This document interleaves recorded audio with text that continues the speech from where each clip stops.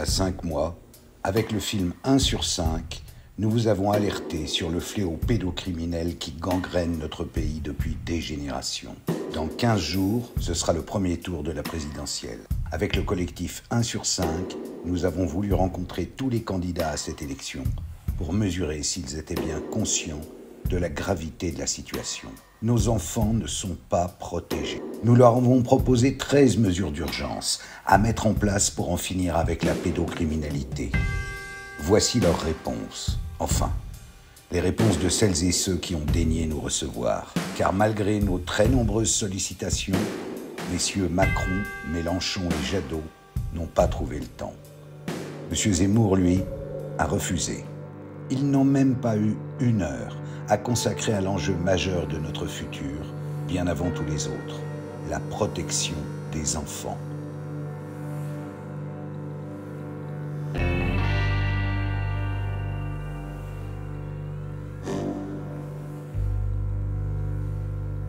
Si on est là, euh, je pense que vous l'avez compris, c'est parce qu'on a le sentiment que depuis 30 ou 40 ans, on nous mène en bateau concernant les, les problèmes que peuvent rencontrer les enfants, que ce soit l'inceste, que ce soit dans l'Église, que ce soit également les réseaux pédocriminels, que ce soit aujourd'hui la cyberpédocriminalité. On a beaucoup espéré euh, d'une loi qui s'appelle la loi Billon et la montagne a accouché d'une souris.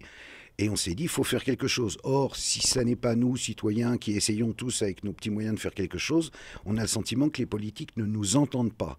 Ou que même s'ils nous entendent, ça n'aboutit jamais. Alors on se dit, mais pourquoi ça n'aboutit pas? Il y a un problème, c'est quoi? Pourtant, c'est les enfants. Les enfants, c'est plus important que tout, non? Donc, on est là pour essayer de, ressentir chez chaque candidate et chaque candidat euh, euh, son intérêt pour ce thème-là et sa volonté de faire réellement maintenant quelque chose. Au moment de cette fameuse loi Billon dont vous parlez, je m'étais beaucoup battue pour que euh, on ne parle pas de majorité sexuelle à 13 ans mais de majorité sexuelle à 15 ans, parce que je crois que ça aurait été vraiment faire complètement fausse route que de prendre un âge aussi bas que 13 ans. Et donc, mais ça montrait bien ce que vous dites, c'est qu'en réalité, il y avait une volonté de sous-estimer le problème. Et le problème, c'est quoi? C'est l'emprise. Le problème, c'est l'emprise que des adultes peuvent avoir sur des enfants fragiles.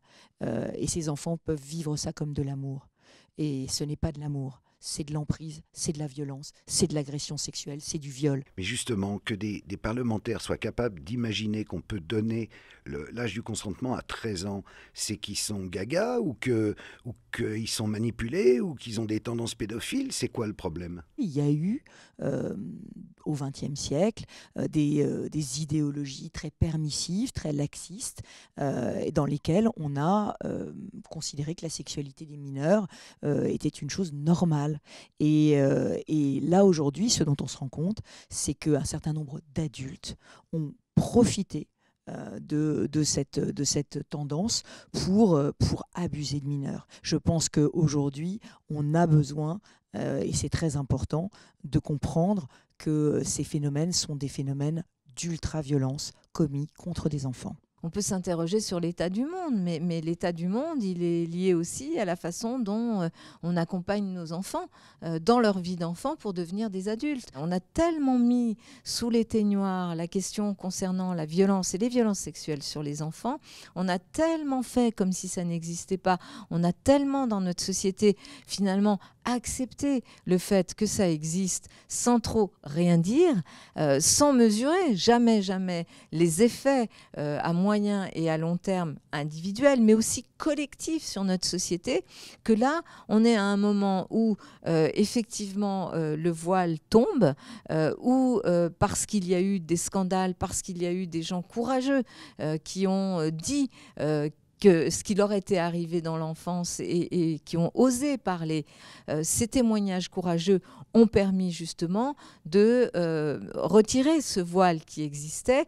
Et là maintenant, nous devons pousser euh, la justice, le droit, la police, la pédopsychiatrie en, lui donnant les moyens d'être là pour traiter ces sujets euh, pour traiter euh, la situation de, ces enfants ou de ces adultes qui n'ont pas pu exprimer cela lorsqu'ils étaient enfants. Si on en arrive aujourd'hui à proposer ces mesures, c'est bien qu'il y a un problème en France avec la pédocriminalité. On sait que ça existe depuis toujours et on a l'impression que les pouvoirs publics n'ont jamais rien fait en vérité. Pourquoi? Je ne sais pas. En tout cas, euh, on n'en parle pas. Et autant la parole s'est libérée sur beaucoup de domaines, notamment, heureusement, euh, sur les violences euh, sexuelles faites aux femmes. Mais les enfants, on n'en parle jamais. C'est monstrueux. On n'en parle pas. C'est, c'est, on ne parle pas du scandale des, de l'adoption, du problème des familles d'accueil. Euh, en fait, le, l'enfant n'existe plus dans notre société. Pour quelle raison? Peut-être parce qu'on n'a pas envie de voir, parce que ça paraît tellement impensable. Je pense qu'obligatoirement, on ne peut pas imaginer. Oui, mais les chiffres sont là. Mais je pense qu'on n'a pas envie de voir parce que, parce que pour nous, c'est sacré l'enfant. Et que donc toute personne qui, euh, qui est censée, qui euh, peut, même pas imaginer, en fait, on est dans l'insondable. Donc on ne peut pas l'imaginer. Je crois qu'il y a une part de ça. Il n'y a pas euh, obligatoirement un grand complot. Il y a simplement que c'est caché. C'est vrai que c'est un sujet qui est l'angle mort euh, de la politique française. Euh, c'est un sujet euh, qui a énormément de mal à faire sa place dans le débat public et notamment dans le débat présidentiel. C'est un sujet qui est considéré par l'opinion publique comme touchant en quelque sorte à une forme d'intime et pour lequel les gens ont du mal à se saisir des propositions qui peuvent être faites. Je peux vous poser une question, Madame Le Pen, qui va Oui. peut-être peut-être pas vous plaire, mais, je préfère vous, vous la poser. La question que je me pose, c'est comment de la loi Billon, euh, il y avait 45 députés qui étaient là pour voter euh, la loi Billon, et il n'y avait pas beaucoup de personnes d'errants, si j'ose dire, euh, du, Rassemblement national. Mais je vais vous dire pourquoi. Parce que le problème, c'est que euh, à un moment donné, nous, nous sommes six. En face, ils sont 300, vous comprenez? La majorité est la majorité. Ils sont ultra majoritaires. Ils font passer tout ce qu'ils veulent. Voilà, c'est simple. Il faut admettre ça, que l'Assemblée nationale est devenue une chambre d'enregistrement maintenant. Il faut s'en plaindre auprès du gouvernement, parce que c'est lui, euh, en, en l'occurrence, qui décide toujours de faire passer des dossiers à 4 heures du matin, euh, un vendredi quand les députés sont dans leur circonscription, et ils font ça, croyez-moi, avec beaucoup d'efficacité. Je vais vous dire pourquoi on n'a pas été présent. Tout simplement parce que le gouvernement a refusé un vote solennel sur cette loi. Soit il y a des lois votées au débeauté, c'est-à-dire à la fin de la discussion où il y a très peu de gens dans l'hémicycle, parce que c'est des lois, euh, ce que j'appelle passe-partout. Euh, c'est pas bien, mais c'est comme ça, c'est la tradition. C'est-à-dire qu'il y a la majorité, il y a l'opposition, euh, et bon, soit les principales lois qui ont un vrai changement, il y a un vote solennel le mardi où on est obligé de voter.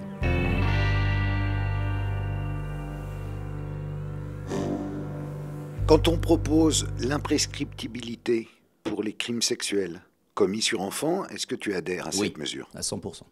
Contre, parce que nous voulons réserver la prescriptibilité aux crimes contre l'humanité.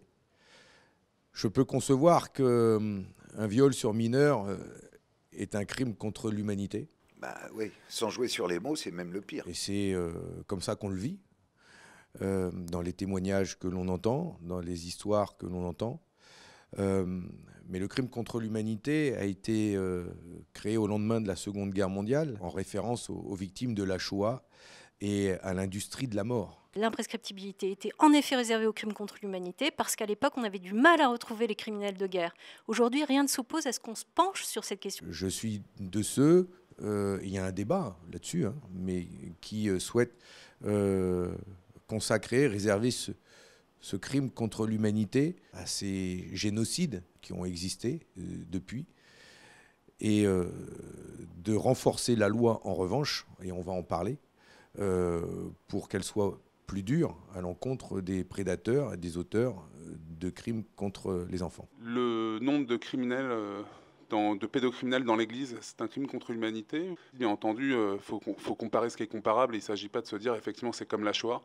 Quoi qu'il en soit, il y a quand même quelque chose de masse, avec une responsabilité institutionnelle et systémique qui est reconnue. À quel moment est-ce qu'on situe en fait un crime contre l'humanité quand on voit qu'il y a autant de victimes aujourd'hui euh, en France? Ce constat effroyable, ces drames en nombre euh, qui ont été recensés et, révélés au sein de l'Église, ça va continuer d'ailleurs pas seulement à faire débat, mais la question de la réparation, tout ça, c'est- toujours en discussion. Mais euh, euh, derrière ces révélations, est-ce que l'on dit que derrière chaque cas, il y a un criminel, il y a un auteur et donc il y a des poursuites, une réparation à faire, ou est-ce qu'on dit l'Église est coupable, comme on a dit que les nazis sont coupables Et est-ce qu'il faut mettre au banc de l'humanité les chrétiens, le catholicisme? Vous voyez ce que je veux dire? L'Église a reconnu sa culpabilité. Bien sûr, l'Église a, reconnu sa culpabilité, mais je, suis pour avoir ce débat. Je ne suis pas euh, tranché. Je ne mesure pas forcément les conséquences que ça pourrait avoir que de mettre euh, le sceau du crime contre l'humanité sur la responsabilité de l'Église, avec tout ce que ça euh, comporte juridiquement derrière. Pour moi, en réalité, je pense que ça aiderait l'Église. Vous voyez, je suis pas croyant, rien contre l'Église. J'ai été victime moi d'un prêtre pédocriminel pendant trois ans de ma vie. Je m'aperçois de la de la complicité à travers mon histoire aujourd'hui, j'en parle de plus en plus, et j'ai été reçu par des personnes qui savaient, qui n'ont rien fait. J'ai eu des lettres qui m'ont été adressées, et je me dis que ça les aiderait. Alors j'entends bien, effectivement, il faut porter ça à la réflexion, mais quand même, on est face à quelque chose, d'un crime d'ampleur, de masse, qui est reconnu, et je me demande si cette reconnaissance systémique ne fait pas, d'une certaine manière, à mon sens, crime contre l'humanité au regard des impacts. Mais au-delà de l'Église, le chiffre 1 sur 5, le documentaire que, que vous avez fait, il est révélateur de l'ampleur de l'inceste, euh, des crimes sur les enfants. 1 sur 5, ça veut dire que euh, dans chaque classe de nos écoles, il y en aurait 3-4 qui seraient concernés. Donc ça doit nous faire prendre conscience de tous les moyens qu'il faut mettre en œuvre euh, pour éradiquer ce fléau. Ces moyens, ils vont euh, de la condamnation forte, euh, euh, de repousser le plus possible la prescription, de faire porter peut-être l'idée de crime contre l'humanité. Vous voyez, je ne suis pas pour fermer la porte, mais c'est aussi tous les moyens qu'il faut mettre autour de nos enfants aujourd'hui, maintenant, pour les protéger maintenant. On parle souvent euh, de la question de l'imprescriptibilité. Moi, je ne crois pas qu'on puisse rendre tous les crimes imprescriptibles, euh, mais je crois que la question de l'inceste mérite un traitement tout à fait singulier, parce que l'inceste, on met énormément de temps avant de le dénoncer. C'est pour ça que sur l'inceste, ces crimes d'inceste, moi je, suis favorable à l'imprescriptibilité. Je, suis opposé à l'imprescriptibilité de quelque nature que ce soit par ailleurs, parce que je pense que la prescription est un principe euh, supérieur du droit, en ce sens que aujourd'hui la prescription est 30 ans à compter de la majorité euh, de l'enfant, et il m'apparaît, parce que j'ai été avocat, euh, qu'au-delà de cette période-là, honnêtement, on n'est pas dans les conditions pour pouvoir récupérer des preuves qui soient suffisamment plausibles en réalité. Voilà, parce que le délai, le temps, on sait très bien que le temps efface l'épreuve. Quand on sait le drame de cela, quand on sait que ça touche tellement, tellement de nos concitoyens, on ne peut pas rester juste euh, dans des questions de principe euh, et considérer que ce crime-là n'est pas un crime particulier qui suppose effectivement la levée de cette prescription. Donc je suis entièrement d'accord avec vous et je le ferai. Le Parlement européen, dans la résolution 2330, euh, a, demandé à tous les États européens de supprimer la prescription et aussi de fixer un seuil d'âge à 18 ans. Donc on en est encore loin. Très très loin. Je suis euh, moi-même hein, euh, très étonnés en fait qu'il y ait autant, autant de précautions prises encore aujourd'hui euh, sur euh, ce type de crime, le crime sexuel euh, contre des enfants. Je, suis étonnée quand on a vu l'affaire Duhamel d'entendre aussi, pardon, une ancienne garde des Sceaux nous expliquer que quand même c'est terrible dans une famille si bien. Qu'on arrête avec ça qu'on arrête avec ces, types de, propos-là, parce que ça détruit, ça détruit individuellement, mais ça détruit aussi collectivement. Moi, je pense qu'on ne peut pas rendre imprescriptible tous les crimes, parce que sinon, euh, on va, il y aura une hiérarchie, on va, avoir une hiérarchie.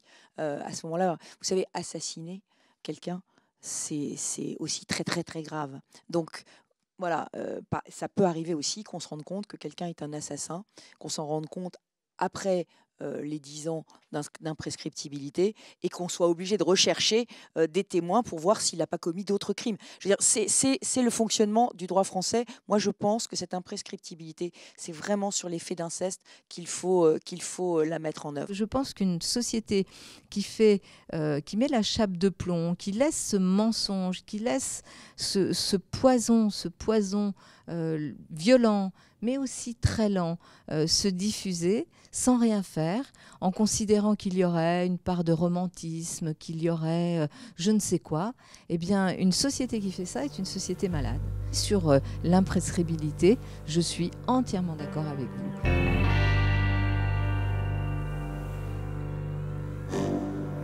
Si je peux rebondir sur le sujet de l'imprescriptibilité, Madame Le Pen, j'ai bien entendu que vous aviez un regard, on va dire, juridique sur cette question. Il s'agit d'un combat sociétal avant tout. 90% des Français euh, souhaitent, c'est-à-dire dans la dernière enquête de mémoire traumatique et victimologie, euh, on a 90% des Français qui sont favorables à l'imprescriptibilité, mais on est aussi sur une reconnaissance de l'impact psychotraumatique du viol, euh, sur la reconnaissance de l'amnésie traumatique comme un objet qui permettrait de suspendre la prescription. Alors et ça, c'est très important aussi pour les victimes. Pour le, pour le, coup, moi, je suis favorable à cela. Et je vais vous dire pourquoi. Euh, parce que je considère que euh, l'amnésie traumatique, en réalité, euh, met l'enfant devenu adulte, victime d'un viol, dans une situation d'incapacité juridique. C'est-à-dire l'incapacité psychologique entraîne en fait l'incapacité juridique d'agir. Donc à partir du moment où euh, cette amnésie traumatique est évidemment euh, constatée euh, par un, collège d'experts, là le problème n'est plus le problème de la prescription, c'est le problème de l'incapacité à agir durant un moment donné, qui peut d'ailleurs être relativement long. C'est un temps blanc c'est un temps blanc dans la prescription qui interdit en fait euh, à, l'enfant de pouvoir déposer, de pouvoir porter plainte. Je pense que c'est euh, pour le coup totalement raisonnable et c'est juridiquement appuyé, encore une fois, sur ce statut d'incapacité. Et si parce que cette amnésie traumatique vous amène à euh, comprendre que vous avez été victime de viol dans votre enfance, mais que vous avez 50 ans, 60 ans euh, et que vous voulez obtenir réparation, eh bien, je suis pour euh, la reconnaissance, bien sûr, de cette amnésie traumatique et la suppression de cette prescription. Ça me paraît indispensable, essentiel. Je sais qu'il y a beaucoup de gens qui sont contre, hein, beaucoup, beaucoup qui me disent mais non, jamais, faut pas faire ça, etc si, je le ferai. Elle est reconnue, euh, elle existe. Euh, et c'est d'ailleurs euh, la raison pour laquelle la prescription, elle est repoussée à 30 ans sur ces crimes qui ont été commis, ce qui est plutôt une bonne chose. Est-ce qu'il faut que ce soit d'ailleurs cette période prolongée Pourquoi pas Ce qui est important, je pense surtout, c'est de créer toutes les conditions pour que on puisse euh, passer de la culture du, soupçon à la culture euh, euh, de la prévention, de l'écoute, et au plus tôt. Ce qu'on demande, nous, avec force, c'est que cette amnésie traumatique soit reconnue juridiquement parlant pour être en capacité justement de reconnaître la parole des victimes dans la loi. Ça ne me choquerait pas, mais je veux voir les conséquences juridiques. Autant je pense qu'il ne faut pas nier la parole des enfants et qu'il faut s'assurer que autant il faut après, qu'est-ce qu'on dit une fois qu'on a dit il y a eu amnésie. Vous voyez ce que je veux dire? Qui, concrètement, comment ça évolue? Donc je suis, je dirais, joker, indécis, et je pense, en tout cas c'est l'idée que j'ai, euh, j'aimerais, euh, si j'étais élu, lancer des états généraux de l'enfance, et thème par thème, on aborde tous les sujets avec des experts, des associations, et on essaye de produire euh, de vraiment produire un résultat. Votre attention, elle est louable, effectivement, d'instaurer euh, des états généraux de l'enfance. Le problème, c'est que tous les, tous les gouvernements successifs, systématiquement, on lance des commissions, on lance... Alors c'est très bien, on, réfléchit, on réfléchit beaucoup. Non, mais sur ce point-là... La problématique, c'est que euh, les incidences pratiques, en fait, sur tout un tas de sujets concernant l'enfance, ne sont jamais réellement mises en, mises en, mises en œuvre. Et donc, finalement, on tourne un peu toujours au, même, au même endroit. Et effectivement, on est reçu systématiquement par euh, des, des, ministres, et puis les administrations changent, et puis finalement on en revient toujours au même, euh, au même point. Donc finalement c'est un peu le, poisson dans le bocal. L'amnésie traumatique, c'est très compliqué euh, pour les juridictions parce que elles peuvent se dire mais pourquoi vous l'avez pas dit plus tôt? Pourquoi, pourquoi ces choses-là n'ont pas été dites plus tôt? Alors évidemment, la justice doit faire son œuvre. Et il y a aussi quelque chose qui s'appelle la présomption d'innocence. Parce que moi j'ai été juge, euh, c'est mon métier. Et euh, je sais aussi qu'il peut y avoir des fausses dénonciations. Euh, il se trouve que quand j'ai été juge au Conseil d'État, j'ai eu affaire à des fausses dénonciations. J'ai eu affaire à des enfants dans des internats qui dénonçaient un surveillant parce qu'il ne l'aimait pas euh, et parce qu'il voulait se venger de lui.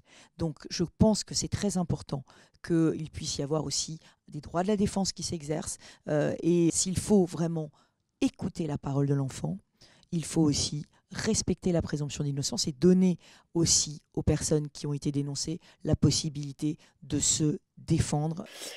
Euh, en tant que professionnel, je suis en général assez agacée lorsqu'on vient euh, agiter ces fausses dénonciations qui représentent en réalité très très très peu euh, de cas au regard du nombre de déclarations et de dénonciations réelles qui sont faites par les enfants. Et quand vous évoquez les droits de la défense, les droits de la défense s'exercent pleinement. En revanche, nous ne parlons pas des droits en fait des victimes, qui eux sont bafoués régulièrement. C'est-à-dire qu'il y a des dispositions législatives qui ne sont toujours pas respectées au niveau des enfants. Je vais vous prendre un exemple. Il a été institué des méthodes d'audition des enfants. C'est ce qu'on a appelé l'audition type Mélanie une salle particulière adaptée à l'enfant avec un, un professionnel dédié à l'enfance. L'enfant a le droit notamment à un tiers digne de confiance, qui peut être notamment son parent. Euh, ces dispositions-là ne sont quasiment pas appliquées dans les brigades de protection des familles ou dans un certain nombre de corps de gendarmerie ou de police. Ce que je veux dire par là, c'est qu'on a des outils, on a des méthodes qui sont prêtes à l'emploi, qui ne sont pas mises à disposition de l'enfant. Et le premier des droits qu'on viole, c'est celui de l'enfant. Alors je suis totalement d'accord avec vous.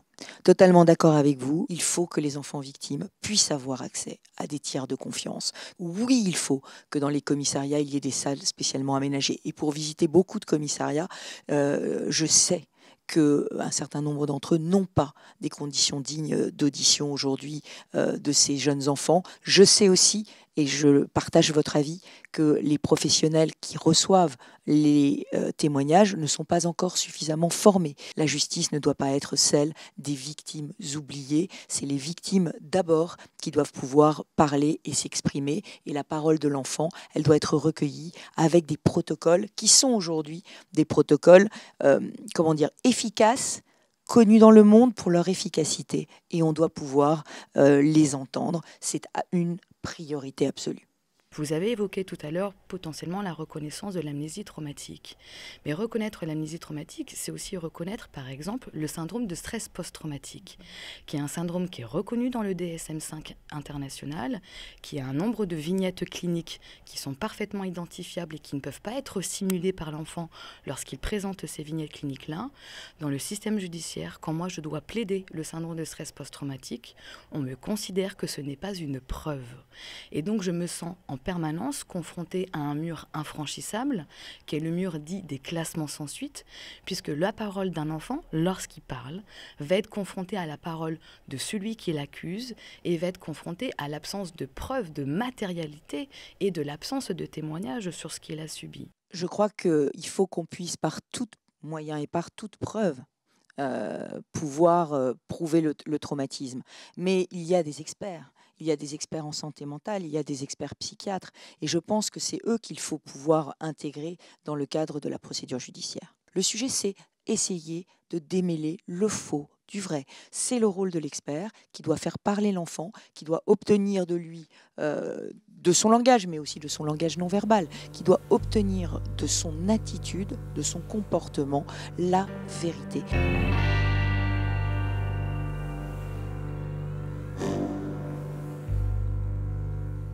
Il y a un autre énorme problème en France, c'est qu'il y a des experts euh, dont l'expertise est prise euh, en quelque sorte comme la parole d'évangile devant les tribunaux. Or, ce sont des experts qui, contrairement hum, à ce, à ce qu'est leur obligation, ont très souvent pas vu l'enfant, pas vu la parent, le parent euh, sur euh, lequel ils font l'expertise. Il faut absolument que l'expertise se déroule dans des conditions qui soient les bonnes. On ne peut pas imaginer une expertise où l'enfant est entendu 5 ou 10 minutes voire des expertises où il n'est pas entendu. Ça, c'est impossible. Mais il n'y a pas d'experts en France, d'experts qui remplissent son devoir de vraiment écouter l'enfant, de vraiment écouter le parent protecteur, et après faire une expertise et non pas faire une expertise sans les avoir jamais vus. Ils devraient être déchus de leur fonction. Il vous appartient de contester ces expertises et, de faire contester l'expert lui-même auprès, auprès de l'ordre. Euh, parce qu'on a besoin que les experts fassent leur travail, qu'ils le fassent correctement. Nos magistrats, malheureusement, euh, n'intègrent pas dans la grille de lecture qui sont les leurs les outils euh, du psychotraumatisme qui sont validés scientifiquement, ce qui fait que la parole de l'enfant est très peu prise en compte et la protection de ce parent lanceur d'alerte est perçue comme une espèce de euh, animosité de, cette, de ce parent vis-à-vis et de l'autre parent que l'enfant crimine comme auteur de violence. Donc cela est une réalité quotidienne pour nombre de familles. Et cela est vraiment une rupture du pacte républicain. J'insiste sur le fait que dès qu'un enfant, sa parole euh, doit être entendue et écoutée, c'est d'abord sa protection. Il n'est plus euh, concevable, et Anne le partage, qu'un enfant qui vient de parler euh, puisse être en visite médiatisée par décision de justice ou le confier le week-end à son parent et parfois même en protection de l'enfance parce qu'on dit que c'est un conflit familial. Ça, c'est plus possible. On a beaucoup d'affaires qui se retrouvent confrontées à des experts euh, complètement euh, qui ont des biais cognitifs abominables et on retrouve des victimes qui sont accusées d'hystérie euh, alors qu'elles dénoncent des agressions sexuelles. Je suis d'accord avec vous, parfaitement d'accord.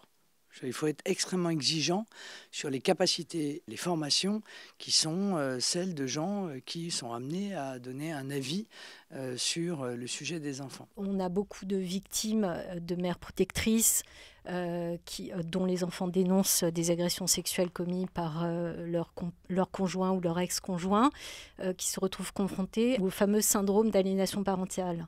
Et nous, nous souhaiterions l'éradication de ce syndrome, qui est une théorie anti-victimaire, hein, qui n'est absolument pas scientifique, qui met en cause systématiquement la mère et l'influence supposé de la mère sur euh, un impact de ces déclarations euh, contre un agresseur sexuel. On ne peut pas éradiquer, euh, si vous voulez, une, forme d'analyse en fait de éventuellement l'influence que peut avoir un parent sur, sur un enfant. Mais ce qu'on peut, c'est demander à ce qu'il y ait une commission d'experts qui a une formation spécialisée pour statuer sur la validité ou non de l'influence qu'un parent peut avoir sur un enfant. On a appelé ça syndrome d'aliénation parentale, on met toujours des noms, mais je pense que ça ne peut pas être un syndrome en soi. C'est une commission qui détermine, d'experts qui détermine si un parent peut avoir influencé son enfant ou ne pas avoir influencé son enfant.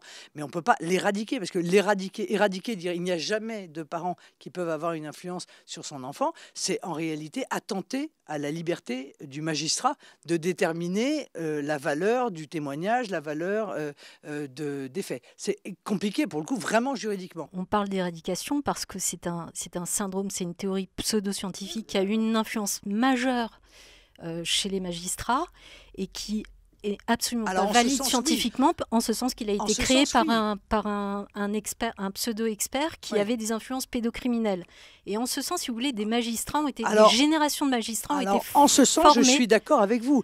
Il ne peut pas y avoir comme ça un syndrome qui soit posé sur la table sans valeur juridique et sans valeur scientifique. Euh, il ne peut y avoir qu'une évaluation par le magistrat euh, euh, et par une commission d'experts des conditions, je veux dire, dans lesquelles la parole de l'enfant est, est, est reconnue. Quand on sait qu'il y a en France 600 à 700 pédopsychiatres seulement au regard du nombre de classes d'écoles que nous avons et de ce chiffre 1 sur 5. Mais on est en dessous de tout, en dessous de tout quand on voit que nos tribunaux ne sont pas équipés, que les avocats conseillent de, les, de, de plaider en correctionnel alors que ce sont des crimes. S'il y a 165 euh, 000 mineurs chaque année qui subissent les violences sexuelles, on a fait le calcul, ça fait un professionnel pour 254 enfants victimes de violences euh, sexuelles. Et donc comment on fait pour renforcer cette protection, ces liens euh, dans nos écoles? Comment on fait pour qu'il y ait beaucoup plus de, de personnes formées pour déceler, pour écouter, pour prendre en compte leurs paroles, à force de déshumaniser l'ensemble de nos structures, de nos services, euh, qui décèle, qui écoute, qui euh, protège. Et c'est tout ça qui manque.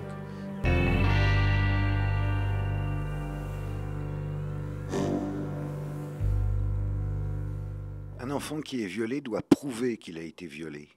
Je voudrais qu'on parle un petit peu de notre mesure numéro 3, l'inversion de la charge de la preuve pour les crimes sexuels commis sur mineurs. Oui, l'inversion de la charge de la preuve, pour moi, est une évidence parce que euh, c'est toujours beaucoup plus difficile de faire la preuve euh, d'un viol que euh, de demander à celui qui est accusé de ce viol de faire la preuve qu'il ne l'a pas commis. Donc, bien sûr, c'est une façon de rétablir la victime dans un droit et je suis très favorable à cela. Non, je crois qu'on ne peut pas inverser la charge de la preuve.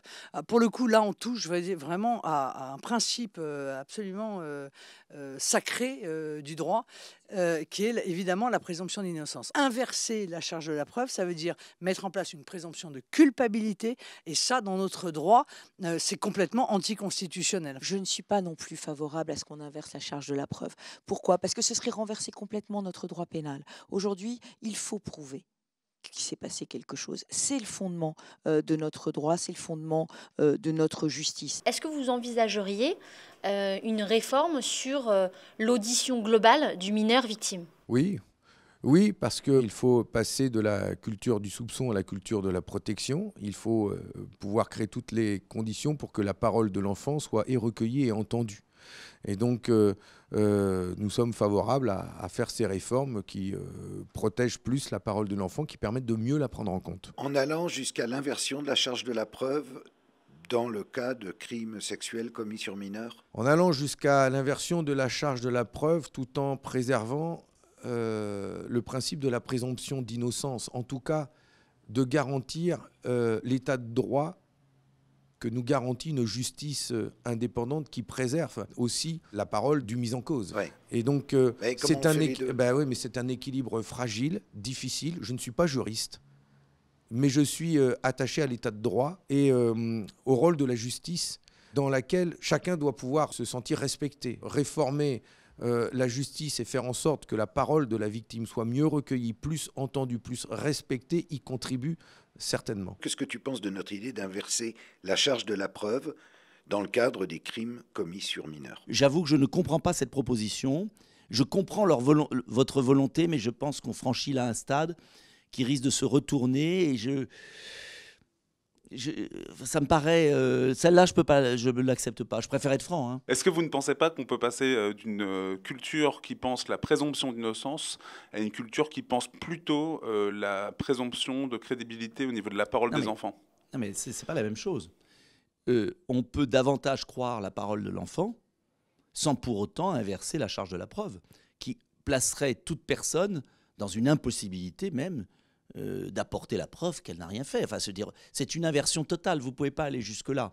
Pour moi, c'est pas possible. Oui, mais depuis ou trop, on n'écoute pas la parole des enfants. mais ça, c'est L'enfant ment d'office. Mais... Ce qui fait qu'un enfant qui a été violé doit prouver avec ses mots, avec son cerveau, avec son univers qu'il a été violé. Mais tu ne peux pas. C'est là où il y a un problème. Je comprends. Ce n'est pas parce que le système judiciaire français n'apporte pas suffisamment de crédibilité à la parole de l'enfant qu'il faut inverser un système judiciaire où la personne qui est accusée devrait apporter une preuve de quelque chose qu'elle n'a pas fait. C'est impossible. Si, dans le cadre juste des crimes sexuels commis je, sur Je ne crois pas que ce soit possible. Donc je préfère être franc et vous dire non. La France a ratifié il y a plus de 30 ans la Convention internationale des droits de l'enfant. Est-ce qu'il ne serait pas temps, d'une certaine manière, de parler de la présomption de crédibilité au niveau de la parole de l'enfant? Ce que l'on peut faire, et ce qu'un président de la République peut faire, il peut demander à son garde des sceaux de prendre une instruction pénale pour tous les parquets de France, euh, les parquets qui sont soumis à l'autorité euh, aujourd'hui euh, du, du garde des sceaux, et leur dire que la parole de l'enfant doit être par nature considérée comme crédible lorsqu'il porte plainte et elle doit être écoutée davantage qu'elle ne l'est aujourd'hui, davantage prise au sérieux.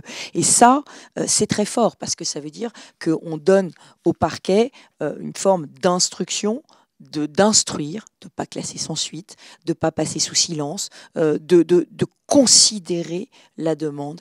Euh, et, et, ça, c'est important. Mais je ne suis pas pour l'inversion de la charge de la preuve. Je, je, suis désolée, je voudrais surtout pas être désagréable. Ne croyez pas ça. Hein. Euh, c'est juste une avocate un peu en colère qui s'adresse à vous. Je crois que malgré que vous ayez occupé des fonctions de juge, vous êtes très très loin de la réalité judiciaire. Euh, moi, je n'ai plus le temps dans l'exercice de ma profession de me payer des mots. Et moi, l'urgence dans laquelle je me pose aujourd'hui, c'est d'arrêter d'avoir des mineurs que j'accompagne par la main, de passer du juge pénal au juge des enfants, au juge aux affaires familiales, et que chacun de ces magistrats sont incapables de travailler main dans la main, qui sont incapables d'aller rechercher les bons professionnels, qui sont incapables en fait de se dire, et je les comprends par manque de temps et par manque de moyens, de me dire que ce dossier-là, c'est pas cinq minutes sur le bord, je dirais, d'un bureau, c'est une heure, c'est deux heures. Tous les juges dont vous nous parlez n'ont plus le temps. Ils n'ont plus le temps euh, de euh, juger à la fois vite et bien. Donc, le sujet, il est matériel pour ces juges. Et moi, je les ai rencontrés, j'ai été dans les tribunaux et j'ai vu effectivement les piles de dossiers et j'ai vu euh, leur désespoir, parce que les juges sont comme vous, ils voudraient y passer plus de temps. Donc, de juger à la fois vite et bien. Et on sait que les ordonnances de protection, lorsqu'il s'agit d'un mineur en danger, comme lorsqu'il s'agit d'une femme battue, doivent être prises dans des délais de quelques jours. Je pense qu'un juge seul peut pas déterminer le placement d'un enfant. En tout cas, on ne peut pas confier à un juge seul le soin de décider du placement d'un enfant. Je pense qu'il faut qu'il y ait euh, une euh, juridiction collégiale. Parce que la collégialité est évidemment une sécurité. C'est la raison pour laquelle d'ailleurs on l'impose euh, pour des faits criminels ou des, ou des faits délictuels graves. C'est parce que précisément c'est une sécurité. Alors cette sécurité-là, en fait, on ne l'offre pas aux enfants avec un juge unique. Euh, qui, bah, par définition, peut plus facilement se tromper, précisément parce qu'il euh, est seul, et souvent d'ailleurs très certainement euh, surchargé. Si on veut donner la possibilité de traiter rapidement en justice, d'abord pour protéger les victimes, mais surtout mettre hors d'état de nuire les prédateurs, il faut donner des moyens à la justice pour enquêter et sanctionner. Aujourd'hui, ce temps, il est trop long. C'est la raison pour laquelle on a proposé euh, de mettre en place des brigades spéciales d'intervention, d'enquête et un tribunal aussi euh, dédié à toutes ces violences euh, sexuelles, sexistes qui existent dans la société à l'encontre euh, de chaque être humain, des femmes en majorité, et aussi pour les enfants. Et chez les enfants, c'est aussi majoritairement euh, des jeunes filles. Mais donc, euh, il y a besoin d'avoir cette juridiction spéciale afin de pouvoir véritablement y mettre des moyens humains, afin et de sanctionner et donc protéger les victimes et mettre de côté les prédateurs. À chaque fois qu'il y a un cas de violence conjugale, ça doit déclencher une enquête sur une possible euh, violence à l'égard des enfants. Or, ça n'est pas le cas. On traite le couple comme si le couple était une forme d'îlot, euh, séparé complètement euh, du lien, je veux dire, familial avec les enfants. Or, on sait très bien que lorsqu'il y a des violences conjugales, il y a dans de très nombreux cas également des violences à l'égard des enfants et que j'ai presque envie de dire que le simple fait d'être témoin de violence conjugale d'un parent sur l'autre est en quelque sorte déjà une forme de maltraitance euh, aux enfants. Il faut aussi une juridiction spécialisée sur les violences intrafamiliales. Et ça, c'est ce que je propose. Je le propose à la fois pour les femmes victimes de violences, mais aussi pour les enfants, parce que les enfants sont co-victimes de souvent des violences, et puis qu'ils peuvent faire l'objet de violences eux-mêmes. Donc une juridiction spécialisée, avec comme objectif qu'en 72 heures, les plaintes puissent être instruites et qu'il n'y ait pas de classement sans suite, et que les ordonnances de protection puissent être prononcées dans les six jours. Ça veut dire des juges d'instruction qui soient ultra spécialisés. Alors je vois bien comment fonctionne le parquet, si vous voulez. Le parquet, euh, euh, par exemple à Paris, c'est parquet mineur victime, mineur auteur. C'est pas du tout la même chose. Je veux dire, considérer qu'il y a un juge d'instruction pour les mineurs parce qu'ils sont mineurs et que donc tout, ça recouvre toutes les problématiques, c'est une erreur. Il faut qu'il y ait des euh, juges d'instruction spécialisés pour les mineurs victimes. Parce qu'ils ont une manière de parler, une manière de se comporter, il y a des non-dits, il faut être capable de décrypter, détecter euh, quelles sont les difficultés des enfants. Moi, je suis frappé de voir qu'aujourd'hui, dans notre pays, tout le monde a le droit à un avocat gratuit et qu'en fait les enfants n'ont pas le droit euh, à un avocat dédié, ce qui me paraît être une absurdité totale. Nos textes de loi sont déjà existants en la matière, puisque euh, dès son audition, euh, devant le juge des enfants, également devant le juge aux affaires familiales, le mineur en capacité de discernement peut tout à fait accéder à un avocat si l'un de ses représentants légaux en fait la demande. Je dirais que les textes permettent d'avoir un avocat? Comment vous pensez pouvoir rendre effectif ce droit à l'avocat Mais le problème, c'est que les textes, euh, s'il en est fait la demande, là, euh, il ne faut pas en faire la demande. Il ne peut pas ne pas avoir d'avocat. Donc on va changer la loi. L'enfant, y compris mineur, ne peut pas ne pas avoir d'avocat. Donc si je suis le raisonnement juridique, cela voudrait dire que toute procédure où un enfant euh, est impliqué, s'il n'y a pas d'avocat, nous serions sur un système de nullité de la procédure. Bien sûr, bien sûr.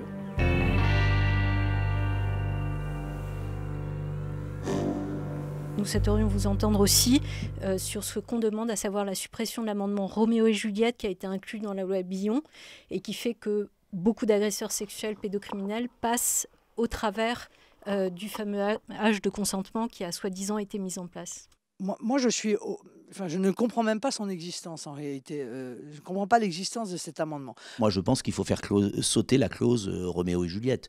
D'ailleurs, même le, quand on est entre nous, d'utiliser ce mot euh, pour couvrir. Enfin, c'est vraiment une inversion des valeurs, quoi. C'est, un peu Enfin, pour moi, c'est sordide. Voilà. Le, choix de ce mot est sordide, puisqu'en fait, il participe, si vous y réfléchissez, de la culture de l'excuse permanente. Il traduit bien la dérive et l'inversion totale des valeurs. Comment une certaine euh, intelligentsia parisienne mais sur des trucs sordides, euh, se, donne des excuses poétiques. Et je pense que ça explique beaucoup la mansuétude intellectuelle d'un certain milieu sur des actes atroces. Une mineure de 13-14 ans peut être prostituée par un Mac qui va avoir 18-19 ans. Donc c'est bien la preuve que cet amendement censé protéger des amours adolescentes dignes de Charles Trenet dans la tête de Dupont-Moretti est une vaste blague. Je crois me souvenir que ça ne s'applique pas dans les cas d'inceste. Euh, et donc, euh, ça s'applique juste quand il y a une différence d'âge euh, de 5 ans. Et donc, dans les cas d'inceste, il y a une condamnation quand l'inceste est, reconnu. je suis pour mettre le paquet pour lutter contre la prostitution et éviter ces cas que vous révélez et qui existent malheureusement, qui sont terribles d'ailleurs. C'est toute la difficulté de reconnaître quand il y a prostitution contre de l'argent Hein, et donc une marchandisation du corps et une relation amoureuse qui peut exister euh, entre quelqu'un qui vient juste d'avoir 18 euh, ans et quelqu'un qui a euh, presque 15 ans. Et donc là aussi, c'est un équilibre fragile à avoir. Et donc je ne vous dirai pas pour ou contre. Je suis pour euh, euh, mettre le paquet dans des moyens d'investigation et de taper fort contre la prostitution. Jusqu'à présent, jusqu'au moment du vote de la loi, il y avait le délit d'atteinte sexuelle. C'est-à-dire que tout enfant de moins de 15 ans, en fait, il y avait une, prohibition simplement de, toute, euh, toute relation sexuelle entre un mineur et un majeur. Sauf que réellement, en disant qu'il y a un écart d'âge possible, ça rend possible ce qui ne l'était pas jusqu'à présent. Donc là où on pense soi-disant avancer et renforcer la protection, en réalité, euh, bah, on est venu euh, bah, rendre possible ce qui ne l'était pas. Donc de fait, les enfants sont encore moins protégés. Je, partage tout à fait hein, votre, votre analyse, mais c'est pour ça que je le prends sous l'angle de la lutte contre la prostitution. Et quand on dit lutte contre la prostitution, ça veut dire de mettre des moyens d'enquête qui permettent de faire des investigations et qui permettent de révéler euh, qu'il y a eu échange d'argent. et, vous disiez que vous ne savez pas si vous voulez revenir ou non sur l'amendement sur Roméo et Juliette. On recule en réalité, mais on recule grandement sur ces questions-là quand on connaît en plus les chiffres. Enfin, je veux dire, c'est d'une violence inouïe. Mais quand je dis que je je, euh, je suis pas euh, comment dire euh, blanc ou noir là-dessus, c'est parce que est-ce qu'on peut concevoir qu'un des ados qui ont un amour sincère entre eux et qui ont 50 différences il y en a un qui a plus de 18 ans et, l'autre qui a euh, tout juste 15 ans. Est-ce que cet amour-là, il peut être reconnu? Mais est-ce que ça pose problème, sa situation? Généralement, ça pose pas de problème en réalité. Concernant l'inceste, cette fameuse loi Billon a rajouté un amendement euh, extrêmement pernicieux qui minimise la protection des victimes en cas d'inceste, à savoir que l'autorité de droit ou de fait euh, dans des cas d'inceste a été supprimée. C'est-à-dire que une tante euh, peut tout à fait euh, euh, violer son neveu. et si elle n'a pas l'autorité de droit ou de fait, la question du seuil d'âge ne s'applique pas. Et cela a été justifié par le garde des Sceaux en disant qu'il pouvait y avoir des incestes consentis. Je ne comprends pas cette explication ni cet amendement. Ça apparaît inconcevable. Je ne suis pas maintenant un spécialiste du droit dans ce domaine, mais je partage euh, votre sentiment là-dessus et, et, cet amendement qui euh, n'aurait pas dû être euh, adopté. Sur euh, cette fameuse clause Roméo-Juliette, je reviendrai dessus. Je suis entièrement d'accord avec vous. Euh, cette façon d'introduire euh, cet écartage est en fait une façon de redire qu'il y a tellement d'ambiguïté qu'il faut tenir compte de ces ambiguïtés et ne pas avoir une position claire qui soit une position protectrice pour les enfants et, et les adolescents. Donc je reviens là-dessus évidemment. En fait, il faudra revenir sur le texte qui a été voté en première lecture et qui était clair, qui était celui que j'avais porté, pas parce que je l'ai déposé moi-même, juste parce qu'il mettait le seuil d'âge à 15 ans et 18 ans. Il n'y avait pas d'écart d'âge. Pour moi, les choses sont simples. 15 ans, ça doit être l'âge du consentement. Entre 13 ans et 15 ans, il y a une présomption simple de non-consentement. En dessous de 13 ans, il y a une présomption irréfragable de non-consentement. Voilà, c'est simple. Donc en dessous de 13 ans, il y a viol. Et il n'y a pas en dessous de 13 ans, comme on ne reconnaît pas la victime consentante hein, en droit euh, pénal, euh, il ne peut pas en être autrement. En dessous de 13 ans, quelles que soient les circonstances, il y a viol. Enfin, c'est ahurissant quand on y réfléchit. Enfin, c'est ahurissant. C'est ahurissant. Voilà, j'en dis pas plus que je veux pas polémique. Et je veux pas qu'on croie que j'instrumentalise ça des, sur des fins politiciennes, c'est pas le problème. Mais ça montre la faillite de ce milieu, de cette omerta française sur tous ces sujets et sur bien d'autres.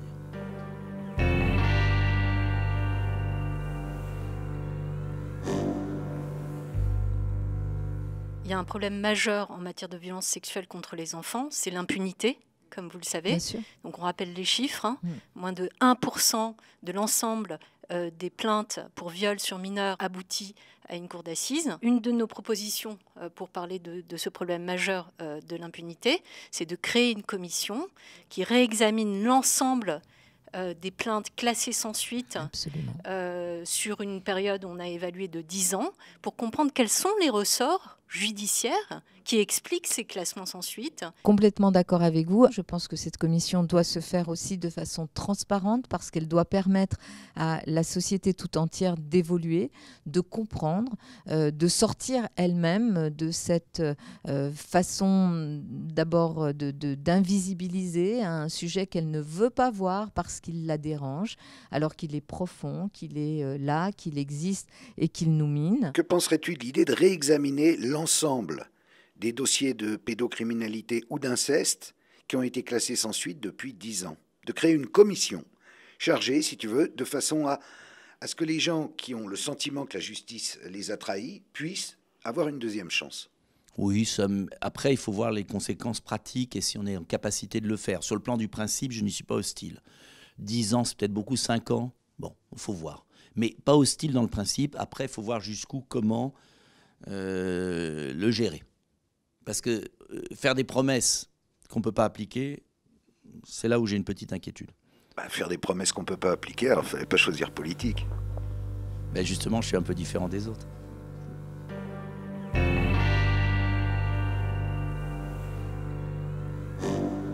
Comment ça se fait qu'il n'y a pas d'organisme de contrôle du passé des gens qui travaillent à l'éducation nationale, dans les ASE, dans, les milieux sportifs, euh, tu vois, d'éducation. Quand quelqu'un a eu, on va dire, de mauvais gestes, on le mute discrètement. Il y a une sorte de, protection de l'organisme lui-même. Et puis, il va recommencer dans une école à 20 km. Et ça va aboutir à des 150 victimes avant que quelqu'un ait bougé. Est-ce que c'est normal?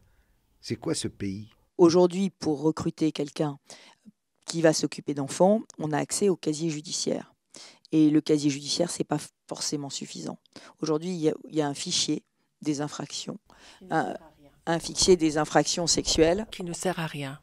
Et je pense qu'il il serait tout à fait possible euh, d'organiser la consultation de ce fichier des infractions sexuelles pour permettre le recrutement de personnes qui vont s'occuper des enfants. Ce fichier existe, il s'appelle FIGEIS. Qu'est-ce que ça veut dire? Ça veut dire que sont dans ce fichier toutes les personnes qui ont été condamnées à 5 ans ou plus. Tous ceux qui ont été condamnés à moins que 5 ans ou à du sursis ne font pas partie de ce fichier. Lorsqu'on est dans un pays comme la France, où on ne condamne pas, où on classe ensuite, où il y a des non-lieux, où on ne va pas au bout des enquêtes, ça veut dire que beaucoup de personnes passent à travers les mailles du filet. Donc, ils ont tripoté des gosses dans une maternelle en tant qu'animateur ou je ne sais pas quoi. Eh bien, la mairie les engage dans un... Et puis, ils ont un parcours de 20 ans, de 30 ans avec des mineurs. Et mais ils ne sont pas dans ce fichier. C'est pour ça qu'on demande justement que soit inclus dans ce fichier toute personne condamnée, quelle que soit sa peine, sursis, pas sursis, un an, six mois, et que sa consultation soit obligatoire. Nous, Innocence en danger, nous avons écrit un courrier à tous les maires de France en disant ce fichier existe, vous, vous pouvez le consulter, mais ça ne suffit pas. Il faudrait également que toute personne condamnée pour des agressions sexuelles ou autres sur des mineurs, quelle que soit sa condamnation, soit dans ce fichier. Sinon, ce fichier est, comme beaucoup d'autres choses en France, symbolique. Sur le fichier FIGES, effectivement, il faut que les maires sachent qu'ils peuvent le consulter et il faut que pour tous les emplois publics, ils puissent être consultés. Et euh, sur la question de l'élargissement des inscrits au fichier, c'est une concertation qu'on doit pouvoir ouvrir avec les associations euh, pour savoir jusqu'où on inscrit. Euh, effectivement, peut-être que la condamnation à 5 ans est trop élevée et peut-être qu'il faudrait élargir ce, fichier pour éviter effectivement que des personnes dangereuses soient mises au contact avec les enfants. Je pense qu'il faut descendre dès la première condamnation, même avec sursis, et non pas 5 ans. C'est fondamental. C'est fondamental. Parce que là, c'est un élément de prévention active. On éviterait beaucoup de drames. Beaucoup sans faire atteinte à la présomption d'innocence. Dans la majorité des cas, les personnes qui ont été mises en cause et pour lesquelles il y a eu un classement sans suite agitent le fait qu'elles ont été reconnues non coupables, ce qui n'est évidemment pas le cas, puisqu'un classement sans suite n'est pas une décision de non-culpabilité, mais euh, peut résulter d'une absence de preuve. Est-ce que on peut envisager aujourd'hui euh, que toutes les autorités qui vont euh, employer des personnes encadrant des mineurs soient totalement informées des mises en cause et des condamnations, quelles qu'elles soient? Oui, on partage plutôt cette proposition que dans ce fichier soit inclus les personnes, euh, y compris qui euh, ont été condamnées pour du sursis, hein, parce que là, effectivement, le, le, fichier, il est trop restreint euh, pour les personnes concernées, et donc il faut l'élargir, comme vous le dites, jusqu'à ces personnes pour lesquelles il n'y a pas eu de non-culpabilité prononcée, et donc en prenant donc le spectre le plus large. Mais je pense aussi qu'il faut pouvoir mettre la pression sur les structures les collectivités y compris, les associations qui euh, outrepasseraient et qui euh, se permettraient d'embaucher des personnes en connaissance de cause. Est-ce qu'on peut aller jusqu'à l'instauration d'une sanction si cette consultation n'était pas effectuée? Je suis pour qu'il y ait une, une peine annoncée à l'encontre des structures, des collectivités, des établissements, euh, des sociétés qui embaucheraient du personnel inscrit dans ce fichier afin, euh, bah, afin que ce soit garanti que personne, euh, aucune personne inscrite dans ce fichier ne soit demain amenée à encadrer des enfants. On propose aussi qu'il y ait une obligation de signalement pour les professionnels du soin, euh, de la santé, les professionnels de l'aide sociale à l'enfance, les professionnels de l'éducation nationale ne seront plus voilà, dans l'aléatoire, mais en tout cas, qui est cette obligation de signalement pour l'ensemble des professionnels en lien avec les enfants. Ça veut dire si l'ordre des médecins du coin leur tombe dessus, l'État les protégera. Du coup, euh, bah, l'ordre des médecins devra euh, assumer euh, aussi et prendre cette responsabilité. Les médecins, mais aussi l'éducation nationale, tout, tout, personnel en fait en lien avec les enfants, y compris des associations. Euh, se retrouve dans une obligation de signalement. Dans cette culture générale de on essaye de régler ça, euh, pardon, mais à la bonne franquette, c'est-à-dire de ne pas le régler, euh, dans cette culture générale, finalement, c'est parfois et souvent l'orientation, en tous les cas, l'option qui est prise parce qu'on se dit, oulala, dans quoi on s'embarque? Et donc, il faut sortir de dans quoi on s'embarque. Quand il y a un signalement, quand il y a une nécessité d'aller vérifier ce qui se passe et, de signaler, et il, et il faut que les signalements euh, euh, se poursuivent. On a connu beaucoup trop de situations dans lesquelles le signalement n'est pas fait au départ et donc, du coup, la situation n'est jamais réglée. Je pense qu'on ne peut prendre aucun risque avec les enfants. Donc, il faut qu'il y ait un principe de précaution absolu toute personne qui a été condamnée, pris du sursis, à une ne serait-ce qu'une euh, arrestation est inscrite évidemment au FIGET, toutes ces personnes-là ne peuvent en aucun cas travailler à proximité des enfants. C'est une obligation hein, que je ferai inscrire dans la loi. Parce que évidemment, là où il y a des enfants, il y a des, pédophiles. les enfants attirent les pédophiles. Donc par définition, on va trouver des gens qui souhaitent agresser des enfants là où il y a des enfants. Donc ne pas avoir une exigence absolue de, de, surveillance, d'éthique à l'égard des personnes qui travaillent avec des enfants est, je crois, objectivement potentiellement criminel. Donc là-dessus, j'avoue que je serais d'une fermeté absolument totale former toutes les infirmières scolaires, remettre des psychologues scolaires euh, dans les réseaux d'écoles primaires, euh, former les enseignants sur déceler les indices de problèmes familiaux, de traumatismes familiaux liés aux violences dans les foyers. Euh, ça, c'est possible de le faire très vite. Il y a des choses qui peuvent apparaître comme ça simples au premier abord, mais qui sont à mon avis essentielles, comme par exemple le rétablissement de la, visite médicale à l'école, mais aussi l'exigence d'une infirmière pour chaque établissement. Pourquoi? Parce que c'est bien souvent par ce biais-là que l'on apprend, que l'on détecte euh, des enfants qui sont euh, victimes de maltraitance.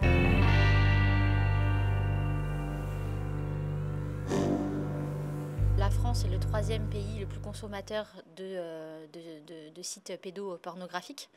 Euh, aujourd'hui, on a cette plateforme Pharos qui nous permet donc de signaler des contenus illicites sur les sites internet. Est-ce que vous envisagez de mettre en place une plateforme spécifique dédiée à la lutte contre la cyberpédocriminalité, entièrement dédiée euh, à la chasse de ces pédophiles sur internet avec des moyens humains et matériels et euh, technologiques adaptés pour qu'on puisse en arriver à la même efficacité que nos que les pays anglo-saxons sur lesquels nous avons énormément de retard? Oui, nous soutenons euh, toutes ces propositions, bien sûr.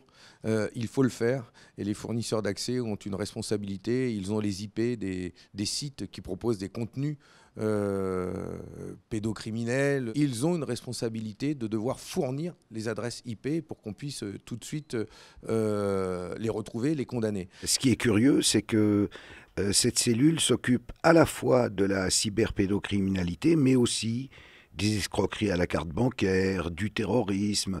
Est-ce qu'il ne serait pas temps de créer une, en France une cellule uniquement dédiée à la cyberpédocriminalité et dotée de moyens efficaces? On a un peu l'impression que on en est toujours au niveau de, du gendarme à Saint-Tropez euh, là-dessus. Dans le cadre de mon projet sécurité, il y a évidemment l'accroissement massif des moyens de la cyberpolice et la création d'un cyberparquet. Nous avons des, brigades d'élite qui font leur travail, mais on n'est pas encore à la bonne réponse. Et c'est par l'attaque cyber qu'on pourra démanteler les réseaux, que ce soit les réseaux de pédocriminalité, mais que ce soit tous les réseaux mafieux. Et ça va avec un cyberparquet, parce qu'il faut aussi que euh, les juges aient les moyens d'investiguer qui vont avec. On a la problématique du viol du mineur qui se développe de plus en plus par streaming.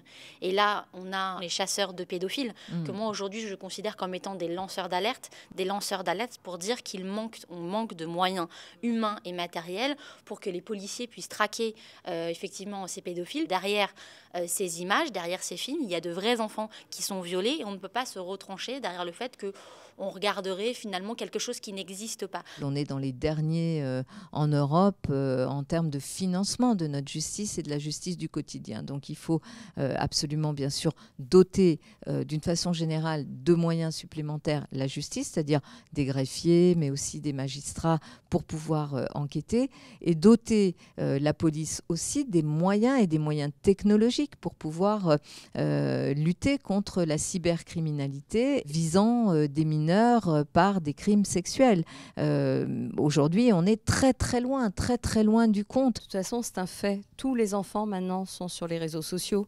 Et depuis la crise sanitaire du Covid, encore plus. Donc on n'a pas le choix. C'est à la société des adultes d'être là où ils sont pour les protéger. Il y a eu des intrusions de pédocriminels dans les classes euh, en distanciel pendant le, le, grand confinement. Donc on sait que tous ces gens-là rôdent et donc euh, c'est absolument essentiel. Je voulais juste vous dire qu'il y a des outils d'enquête sur la cybercriminalité, notamment la cyberpédocriminalité, que nous avons pu, nous, je parle d'innocence en danger, mais je suis sûre qu'il y a d'autres organisations, que nous avons pu, grâce à l'acceptation des gouvernements, pouvoir faire entrer pour les enquêtes en Angleterre, en Allemagne, au Canada, aux États-Unis.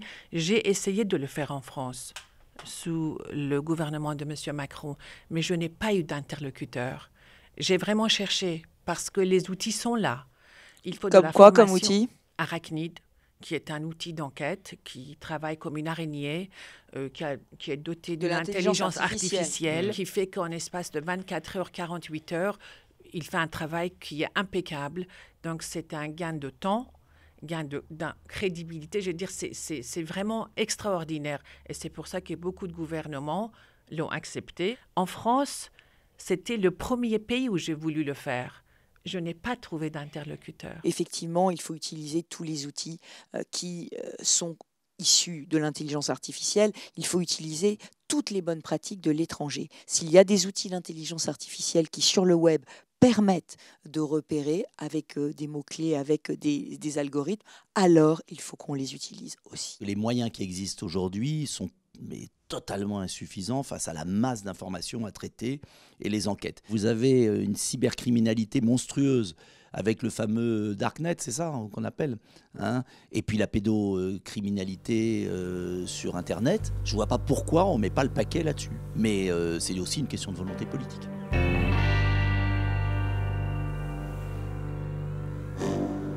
J'aimerais vous entendre sur la prise en charge financière par l'État des psychothérapies pour les mineurs abusés. Pourquoi pas imaginer, comme dans d'autres pays, que ce soit couvert par, par exemple, la sécurité sociale. En réalité, il s'agit de la santé mentale euh, de l'enfant et il n'y a absolument aucune raison pour que euh, cette prise en charge ne soit pas faite euh, et ne soit pas remboursée par la sécurité sociale. Évidemment, je, je trouve que c'est quelque chose de tout à fait légitime. Vous avez en France en moyenne 165 000 enfants victimes chaque année de violences sexuelles. On parle d'un Français sur dix victimes d'inceste. Il y a une question qui se pose en matière de santé, santé mentale. C'est-à-dire qu'aujourd'hui, se soigner ça a un coût. Euh, on se pose une question euh, en matière de remboursement de ces soins euh, quand on a été victime de, de violences sexuelles. Je suis d'accord, il faut, le, il faut l'anticiper, il faut le prévoir. On dépense tellement d'argent inutile dans notre société. Et comme je prévois 100 milliards d'économies dans mon livre, je pense qu'on peut dégager un peu de moyens pour ça, vraiment.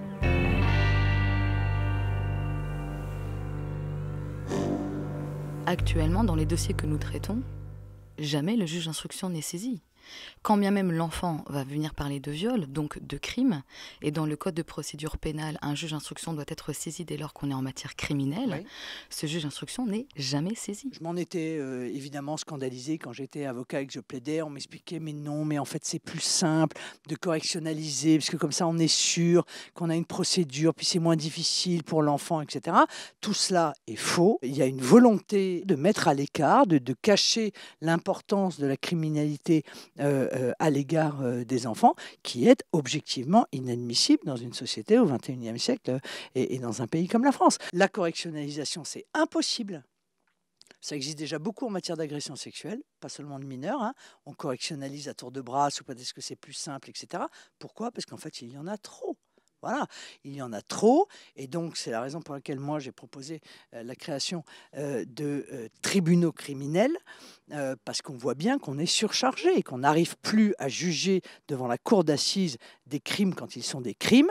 Eh bien, à partir du moment où il y a trop de crimes en France, eh bien dans ces conditions, il faut qu'on passe aux tribunaux criminels et la, la cour d'assises sera la cour d'appel criminelle. Juste une observation, euh, cette euh, expérimentation des, des, cours départementales criminelles a déjà été mise en place par Nicole Belloubet. Du côté des victimes, ça a été très mal ressenti parce qu'un crime dans ce genre de tribunaux euh, départementaux est jugé en l'espace de trois heures, comme si c'était un délit, sauf que c'est jugé comme un crime. C'est très mal ressenti les victimes euh, et parce que la cour d'assises permet d'examiner, euh, de prendre le temps, de, se pencher euh, sur ces crimes qui détruisent des vies.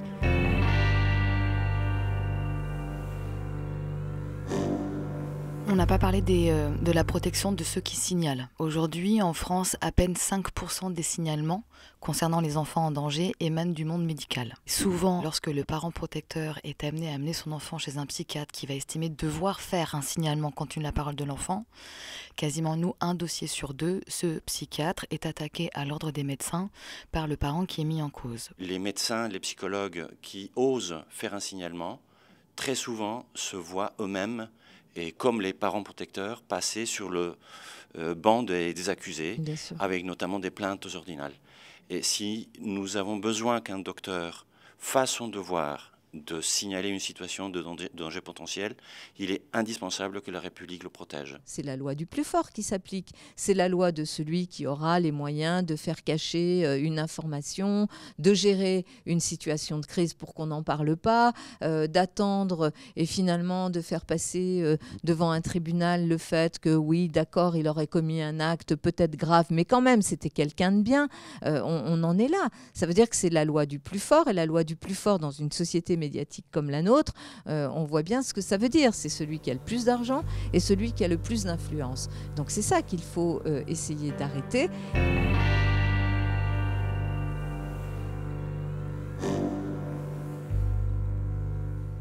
on a plusieurs signalements qui émanent de professionnels différents, de l'école, de médecins, d'assistantes sociales, et pour autant, on a des classements sans suite. Ah mais c'est le problème de la justice en France faut d'abord doubler le budget du ministère de la Justice. Quand je dis c'est doubler, mais c'est pas simplement le doubler.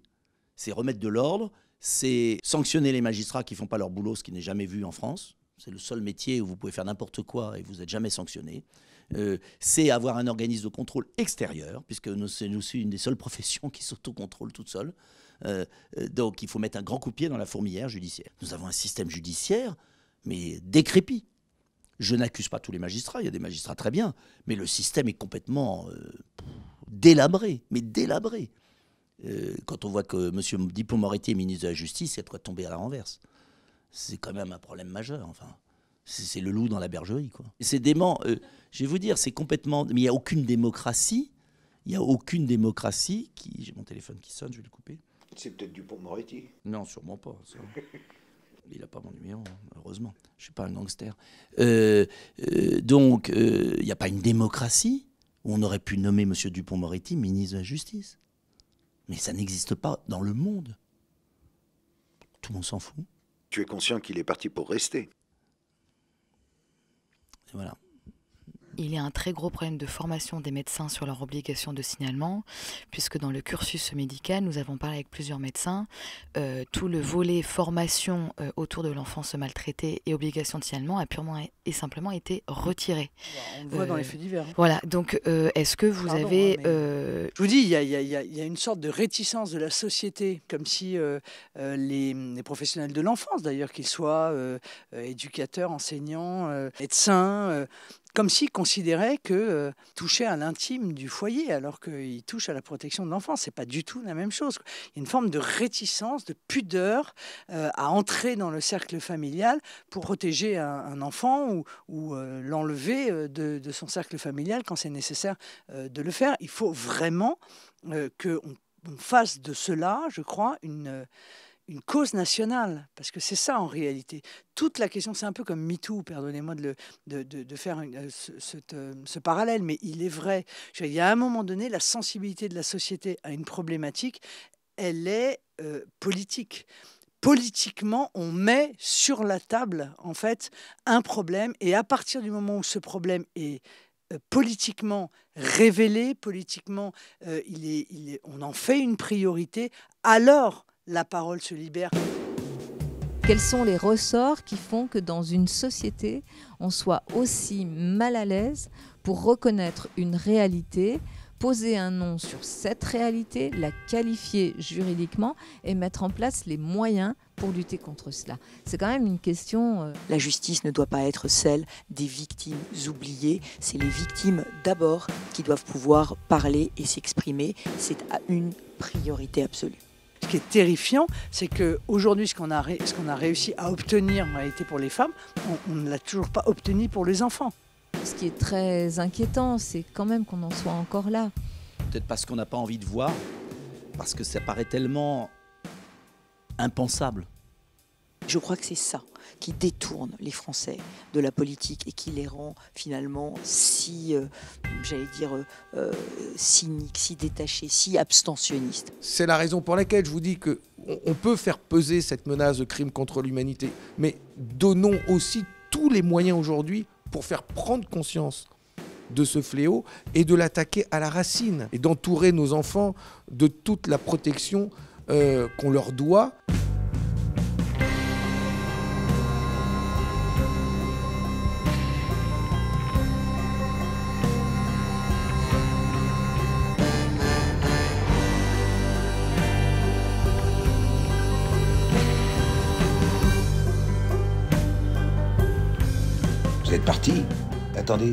Voilà qu'au moment où on s'apprête à mettre le film en ligne, messieurs Jadot et Mélenchon m'envoient des réponses écrites à nos propositions. Un peu tard, messieurs. On vous appelle depuis des semaines. Mais bon, par égard pour les personnes qui, au sein de vos partis respectifs, militent pour la protection de l'enfance, on va mettre vos réponses à nos propositions en ligne sur notre site 1sur5.org.